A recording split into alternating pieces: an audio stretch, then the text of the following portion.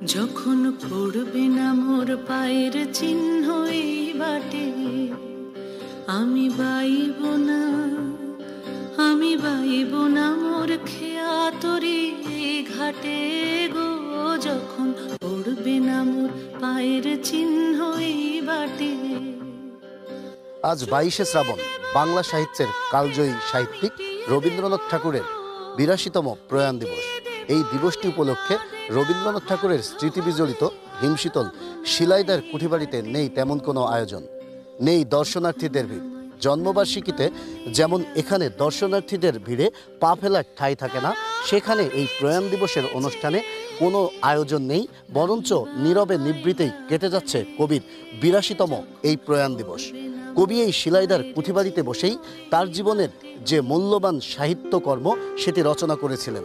আমার সোনার বাংলা, আমাদের জাতীয় সংগীত, গীতাঞ্জলির অধিকাংশ কাব্যগুলোয় রচনা করেছিলেন এই শিলাদার হিমশীতল পরিবেশে বসে।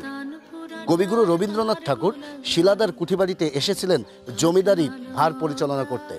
কিন্তু তিনি এখানে এসে প্রজাদের সান্নিধ্যে চলে এসেছিলেন। এসেছিলেন, বসিয়েছিলেন প্রজাদের হিন্দু মুসলিম একই কাতারে।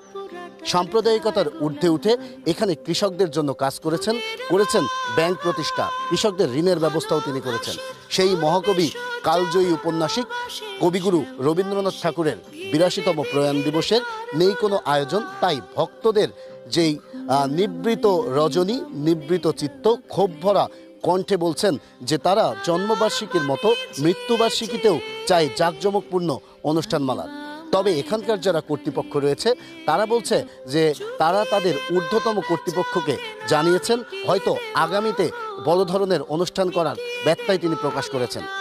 কবিগুরু রবীন্দ্রনাথ ঠাকুর তার জীবনের যে মূল্যবান সময়টুকু, সেটি কাটিয়েছেন তার এই স্মৃতিবিজড়িত রবি ঠাকুরের কুঠিবাড়িতে।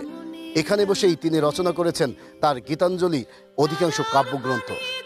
রবি ঠাকুর বেঁচে থাকবে কবি অনুসারীদের মনে, রবীন্দ্র প্রেমীদের মনে। তাই সর্বশেষ বলতে হয়, তুমি রবে নীরবে, হৃদয়ে মম। এই ছিল কুষ্টিয়ার রবি ঠাকুরের শিলাদার কুঠিবাড়ি থেকে আমার কাছে সর্বশেষ খবর।